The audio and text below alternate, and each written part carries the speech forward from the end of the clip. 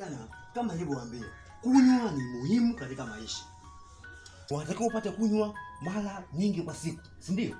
Sasa hivi magonjwa ni mengi, watu wanaumwa UTI, watu wanaumwa vichwa, watu wanapata tabu, watu wanaparalyze kwa sababu hawanywi. Mchungaji, kati ya vitu ambavyo mimi na- sikubaliana na wewe ni kitendo cha kunywa. Hakuna maandiko yanayohusu kunywa mchungaji. Maandiko gani yanaruhusu kunywa? Biblia takatifu inaeleza hiko kitu, na katika mafunzo ya Biblia inaeleza kwamba Mstari gani mchungaji? unatakiwa unywe, na kama una Mathayo saba saba inasema unatakiwa muombe mwenzio, ombeni nanyi mtapewa. Ah, mchungaji, he, mimi ni kinywa mchungaji. Nikaje kanisani kwako? Utanipokea? na kupokea haswa Eh? kabisa. Naona tuhusu tunywe. Yaani unatakiwa unywe, muumini unatakiwa upate kunywa. Kwa hiyo tuanze kunywa tunywe. Yani unywe, unywe kiafya. Unatakiwa upate maji lita tano kwa siku. Kumbe maji. Maji. Mchungaji, mimi kajua bia bwana.